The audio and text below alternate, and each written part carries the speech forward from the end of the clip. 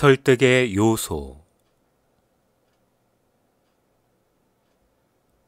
아리스토텔레스는 설득의 3요소로 로고스, 파토스, 에토스를 꼽았다.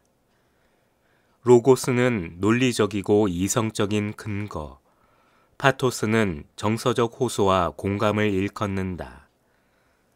이 중 가장 중요한 것은 에토스, 즉 메시지를 전하는 화자의 신뢰성이다.